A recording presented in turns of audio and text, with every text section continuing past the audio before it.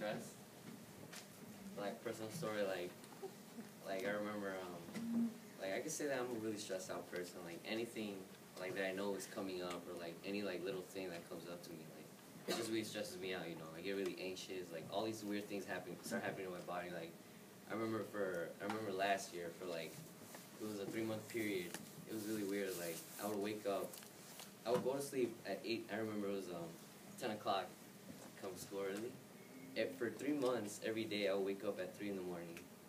It was really weird. Like exactly, it was like three something. You know, it was three in the morning.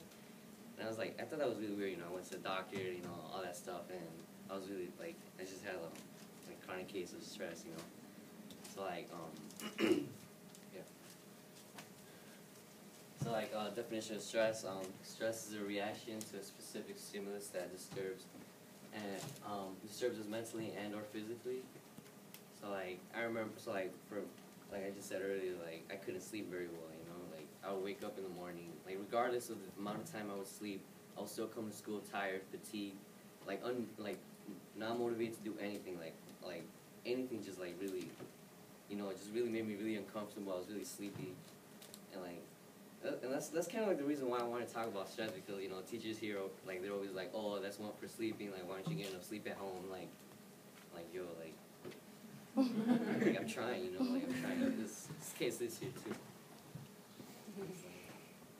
so like factors of stress society like you know like like earlier earlier presentations like we talked about how like society we have to fit, we have to meet their expectations like in society like for example like look look the best, like have the best girlfriend, like you know make money, this and that, like.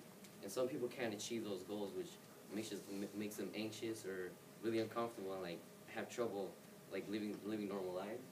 So like unpleasant events as well, like like um like let's say um like you had a tragic experience in one time in your life, and like every time a certain a certain um event or experience like similar to that occurs again, you have these symptoms all over again and deadlines as well. Like connecting back to school, you know, like we have portfolios, projects, and stuff. Like, like you might you might you might procrastinate and not do it on, on like until like the last day.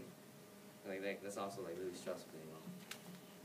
That's like, it's really important because um, stress works with the fight or flight response, and the fight or flight response like um, um, causes um, our body to produce a lot of cortisol and adrenaline, and this this either helps us like like in the images right there um either helps us like like fight like or like the like let's say like you're you're with a lion or a wolf like you either fight or you run away.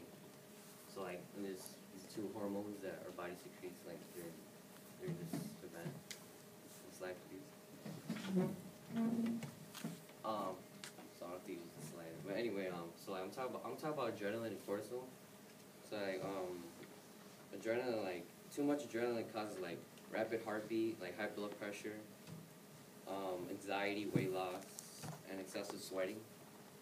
And um, cortisol. This is this is like the hormone I really like because it really like it really um really tied to what, what I was just explaining earlier. So like causes backaches, headaches, like not sleeping well. Like no matter how much you sleep, like you're still not gonna get like you're still gonna feel tired and all that stuff. And like um um, this is all according to like the Mind Body Green website and stuff. So like ways to help, solution, like coping mechanisms. Like everyone knows what coping mechanisms are, right? Like we do stuff that actually, that like helps us like get our mind off like the like like you know the thing that's bothering us the most.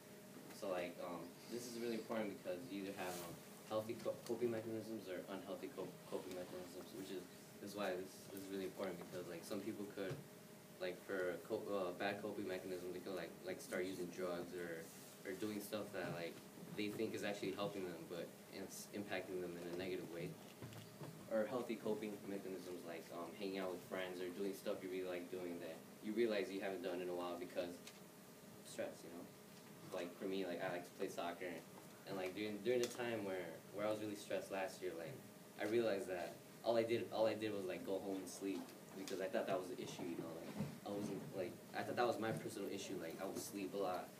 Like I, I realized I had time I, I didn't do any of the stuff that I usually I I would like to do, like like soccer, you know, like I didn't play a lot of soccer during that time. So like you just got to work with your schedule, like when you when you're dealing with stress and stuff. Like